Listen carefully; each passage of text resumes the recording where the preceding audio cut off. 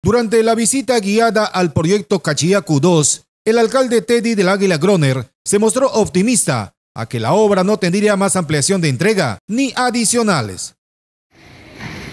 ¿Qué parte de esto, señor alcalde? Ah, esta es la, la, captación para la planta de tratamiento. Ahorita van a, van a, van a enviar una línea para, para llenar de agua y ver el sistema cómo funciona. Aquí es donde primero ingresa. Acá es donde primero ingresa, antes de que ya se derive hacia... Para darle el tratamiento respectivo es a este ah, lado. Exacto, esta es la famosa PETAP, planta de tratamiento de agua potable. Ajá. Pero no puede estar funcionando mientras no se cierre pues, el tema de los reservorios y todo eso. ¿no? Ah, técnicamente ahí va a venir el ingeniero para que ya explique los, los detalles.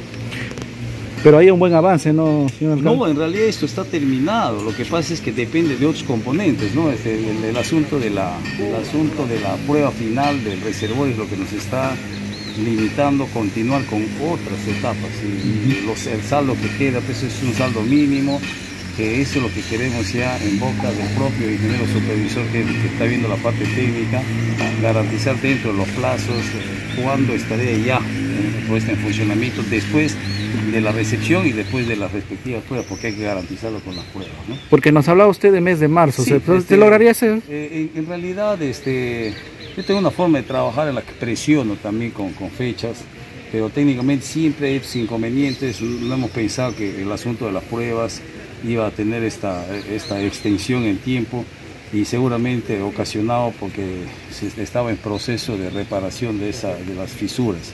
Ya hoy día, vamos a ver, desde aquella época no he venido a ver, voy a ver y, constatar eh, finalmente cuán, cómo se ha avanzado realmente esta reparación. Me ayuda mucho el informe que va a hacer el Colegio de Ingenieros, ha venido del Colegio de Ingenieros Tarapoto, eh, con profesionales que corresponden a la especialidad y ellos, eh, según el informe, van a acreditar lo que han encontrado y lo que seguramente toda la población está esperando, que estas obras, al margen de pequeñas observaciones que tengan, está en condiciones técnicamente bien elaboradas y que garantizan obviamente la calidad de la obra. Asimismo, el burgomaestre tarapotino aclaró que la Municipalidad Provincial de San Martín no dio más ampliaciones de los que debía, sino que fue una sentencia de arbitraje la cual ordenó que se le diera dichas ampliaciones. Esa extensión de plazo corresponde a un, a un arbitraje que ellos, eh, no, perdón, sí, a una extensión que ellos ganaron, les correspondía y entonces eh, no hay penalidad al respecto, pero lo bueno es que la empresa también ha aceptado el no reconocimiento de mayores gastos generales, eh, teniendo en cuenta de que todos los presupuestos adicionales que salgan, los posibles reconocimientos que no las existen en este momento de mayores gastos generales salen de nuestros propios recursos, porque ya el financiamiento de su proyecto original, eh, ha- digamos, ha sido completado. Entonces, eh, esta etapa ya se está avanzando con nuestros recursos, pero está bien porque finalmente para eso son eh, los recursos que captamos, ¿no?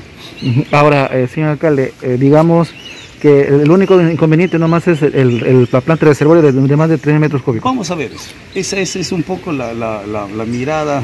eh, si bien es cierto hemos estado en la captación Chilcayo, falta ir a ver la captación Cachiaco para que se conozca, entre otras cosas, la magnitud de la, de la obra que se va a entregar a la población de- de Tarapoto y que se entienda que no es solo el reservorio, no es solo la PETAP, es además estas obras de, de- conducción, que es lo que nos ha generado mucho problema porque pasaban por terrenos donde se tenía que tener licencia social y se tenía que tener autorizaciones ambientales. En el caso del desarenador de la captación Chilcayo, estaba ubicado en terreno de propiedad de, digamos, de- del gobierno regional. Se tuvo que hacer toda una gestión para que aprueben la, la sesión en uso ese terreno que se ha logrado, pero eso son tiempos que finalmente suman y que obviamente debieron haber sido considerados en la formación del expediente y los hemos tenido que salvar en el camino y ellos nos generan innecesariamente ampliaciones que hoy, eh, hoy estamos eh, finalmente soportando.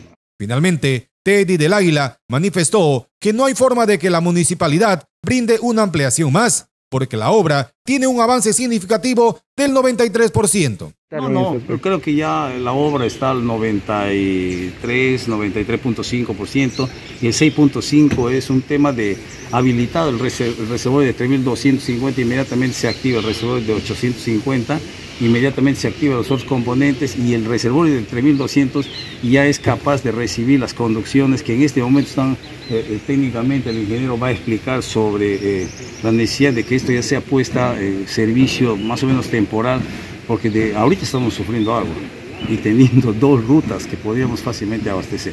Es un poco la ironía del, tema, pero vamos, yo me apoyo siempre en la parte técnica y ya el ingeniero explicará los, los otros. Nos hablan de una baja captación. ¿Es cierto esto, señor alcalde? ¿Ha bajado? Hay, hay, un tema que me hubiera gustado, lamentablemente parece que ha habido falta de coordinación. Eh, hemos observado en la captación Chilcayo, en este momento hay un altísimo volumen. ¿Con las lluvias será? Sí, ahí lo que yo les explico. ¿Qué pasa en época de estiaje?